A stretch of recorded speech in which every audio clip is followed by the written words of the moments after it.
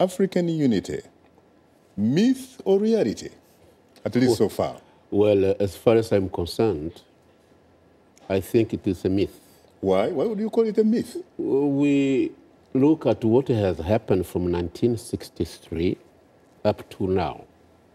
There has not been any reality as far as I'm concerned. Uh, the Pan Africanism has been a dream, and this dream was watched or launched rather by Kwame Nkrumah, whom we have to respect, even to have taken that initiative to introduce to Africa that our continent must be united so that we can develop and reach the heights of other countries or continent.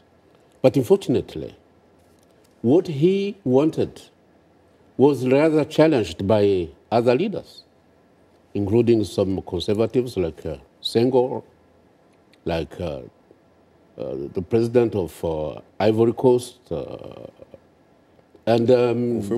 Houphouët-Boigny and uh, certainly others. So what happened was that the dream we had, or the dream Nkrumah had with the other leaders who followed him, has not been a reality.